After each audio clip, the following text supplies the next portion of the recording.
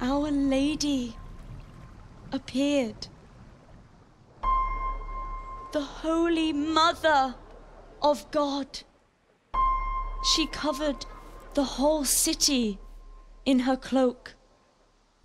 The penitent sinners came out of the city, knelt before the Virgin in prayer, and thanked her for their salvation.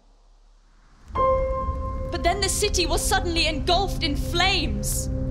The earth began to shake and the gate burst open.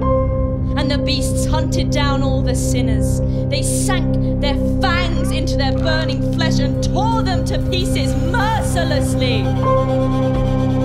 And the sinners screamed and tried to flee them. But it was in vain.